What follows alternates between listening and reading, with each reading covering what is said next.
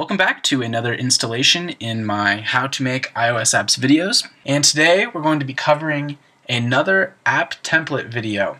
Now my last app template video, we took a quick look at what the My App Templates apps actually looked like, how they ran, and how easy they are to get going at first. And today we're going to be looking at how to implement some features, and I'm going to go really quick just to show you how easy it is to add things to these. Before we even get started, I am going to mention that there is still a special running on the myapptemplates.com website. if you want to get started using these templates and you've checked out my last video, uh, you can actually get the seven templates for the price of one deal.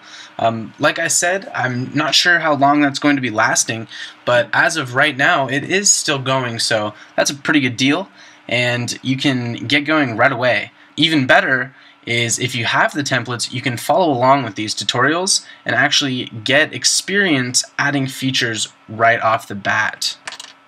So today I'm going to be modifying the social share and RunSport apps to do some simple things but really show you the depth of these templates. So the way I'm going to structure these videos is basically two videos. The first video is going to take a look at modifying the social share app and the second video will be looking at the RunSport app. So here we are in Xcode and when you first open the app that is included, the sample app, you'll get something that looks like this. And so I'm going to explain here real quick. This is the social share app when you open it up here. And we've got a profile looking guy with some posts. And we've also got all these other tabs that I kind of went over through the last video. But the one I'm going to focus on is this new post tab. Now I've cleared it out. It comes with originally a little picture and some text and a couple of buttons. Uh, I've taken all that stuff out because we're not going to need it for this tutorial and it's pretty easy to do so I won't cover that. But what we're going to be doing today is making a quick tweet button. So when you click this middle guy here, it'll open up a tweet screen and you can make a tweet and share all of the great things you have to say with the world. So here we are back in Xcode. We've got our social share app. And right off the bat, the first thing that I'm going to do is add the integrated Twitter framework into our project because we won't get very far without it. So if we want to do anything that has to do with making tweets uh, and later refreshing timelines and downloading data and stuff like that, we're going to need to hook into the Twitter framework and so we'll add that right now as I just said. So to add a new framework to a project, you click on the top level here, click our targets. In this build phases section, we add the plus under link binary with items and we'll search Twitter twitter.framework. So that's added, and just for prettiness sake, I like to drag it into the frameworks folder.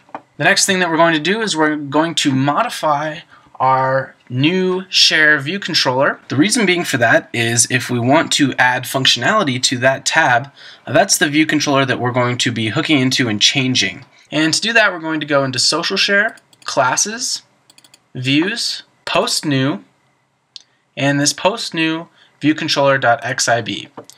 And we get this. As I said, I've kind of already cleared it out a little bit. The first thing we're going to add is a button.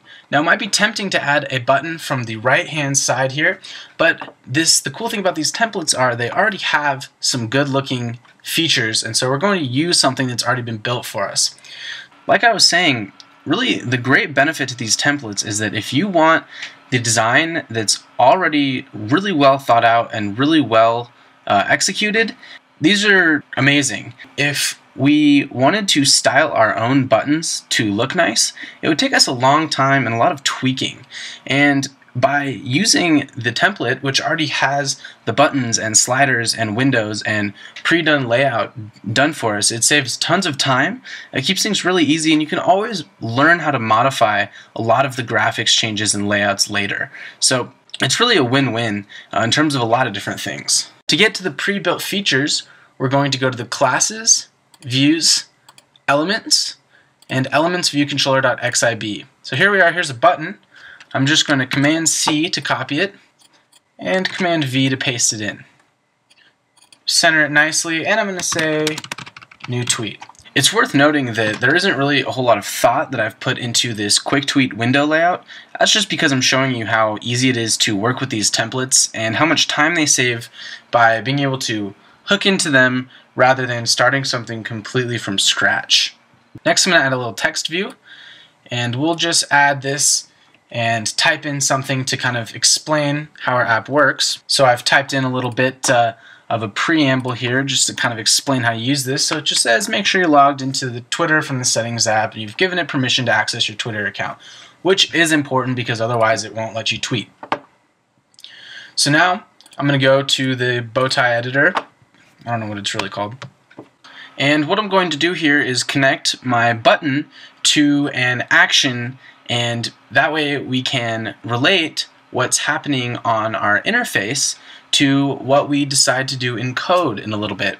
And this brings me to the next benefit is that since a lot of these windows are already laid out and a lot of the buttons are in place, it makes it really easy to just link the buttons to an IB action and get programming some features in right away. So it saves you the time of having to place a lot of the things, really, you know, think through your design, uh, go through the whole process of making sure everything's spaced, things like that. And we're going to give this button an action. So I'm going to control drag, choose IB action, and we'll name it compose new tweet. Links it up there, that looks nice. And now we're going to visit the implementation file, or the post new view controller.m file. So this file is basically the file that holds all of the code that controls our application. So in the .m files, you basically have all of your functionality. And so the design of the app and kind of the visual look is done in Interface Builder, while all of the actual um, bells and whistles are implemented in this file. If you come all the way to the bottom here, you'll see our compose new, new tweet method and it doesn't have anything in there yet, so we need to fill that up. I use the quick tweet feature of the Twitter API a lot, and so I actually have a pre-saved block of code that I use, and so I'm going to copy that over from Sublime Text, but I'll explain it real quickly.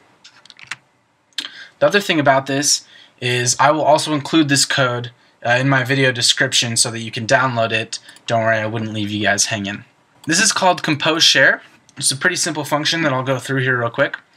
So in the Twitter API, they've defined a compose view controller. It's just like a regular subclass of a view controller, nothing too fancy.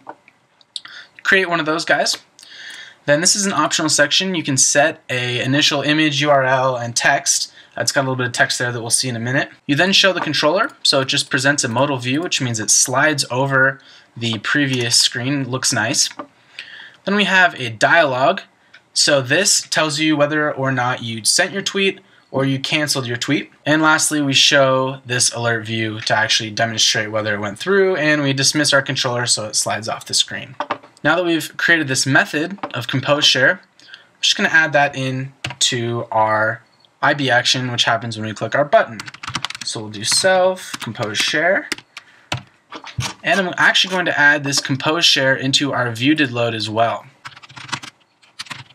And the reason for that is so that when we open the new share tab, it'll automatically post a tweet for us. Take a look and see how this looks here. Navigate to the tab, and the new tweet slides up. So it's worth noting that if this is the first time that you run this, it'll ask, actually ask for access to your Twitter accounts. And if you don't have any filled in, you'll need to go to the settings in either the iPhone simulator or on your real phone and make sure that you have Twitter information filled in there, otherwise it won't work. So this is a test tweet, uh, completing a template or tutorial by the real Jay Greco. That's my Twitter handle. I'm going to cancel it because I've already tweeted it like three times. And there's our little info screen, and our new tweet button also works to do the same thing. So that's pretty cool. Just showing how easy it is to add features to these templates and how to fill them in. Obviously, you could make this look a lot prettier, but that's not really a, a huge priority when I'm just showing the quick and dirty this is how you add a feature thing. This is mostly to demonstrate how easy it is to add new functionalities. Like I was talking about earlier, this template just saves tons of time. Really, if we had tried to implement this same feature starting cold on an app, we would be 20 minutes into a tutorial already and we wouldn't have not even broke the surface. It's really impressive how quick you can get going, and honestly, this still looks pretty nice. Uh, I put very minimal UI design effort into doing this feature, yet it actually looks pretty good. Um, all of my bare bones apps that I just kind of start out with and really implement a feature before a look. Uh, take a long time. They look pretty shabby. Uh, you guys will know that from my previous tutorials and this is a totally different animal. This template allows for building features that also really look good already. I mean and that is the whole purpose of these is that you can save the time of the design and I really can't just say enough about how true that really is. So now we're going to switch gears and take a look at the Run Sport app where I'm going to a quick timer